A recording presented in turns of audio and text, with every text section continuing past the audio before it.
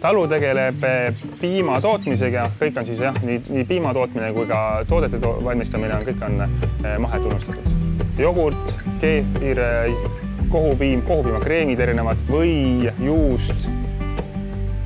mina hakkasin siin eh, ametlikult toimetama umbes kuus aastat tagasi, kui, kui tegime siis isa FIE-s tegime osaühingut. see käis suht niimoodi sujuvalt, et et eks ma olen kogu aeg siin ju talus elanud ja üles kasvanud ja, ja toimetanud, et et aga, aga nüüd jah, mida aasta edasi, seda rohkem on nüüd nii-öelda neid kohustusi minu peal ja nii, me oleme siis hetkel rukkipõllus, et Paiumaa talus me toodame kõik ise äh,, alates siis rohust ja teraviljast kuni siis äh, lõpuks piimatoodeteni välja. meil on kokku kaheksakümmend lehma ja lisaks on meil ka äh, noorkari, mis on järelkasvuks.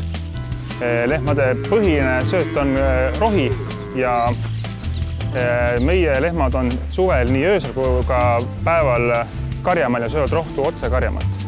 piimatöötlemisega alustasime Paiumaa talus üheksakümne kaheksandal aastal ja see hoone siin on meie au ja uhkus, mille avasime eelmise aasta juulis ja valmistame siin erinevaid eh, piimatooteid, siis jogurtid, kohupiimakreemid, eh, koort, võid, keed, kõiki asju.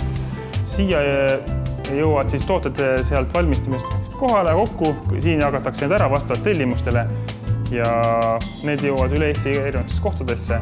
kõige vägevam on, ongi ehk see just meie talu puhul, et, et, et kuna me siin nii toodame piima kui töötleme seda ja lõpuks me teeme tegelikult kokkuvõttes ju alates sellest rohust kuni lõpuks poeletini välja, kõik on meie enda teha. Nii et äh, palju nagu nii-öelda põnevaid väljakutseid, mida ja ei hakka kunagi igav, ühesõnaga. tulge meile Paiumaale külla sööge ikka maitsvaid piimatooteid, mis on tehtud meie õnnelike lehmade piimast ja otsige üles Paiumaa talu tooted Rimi talutoidab nurkadest üle Eesti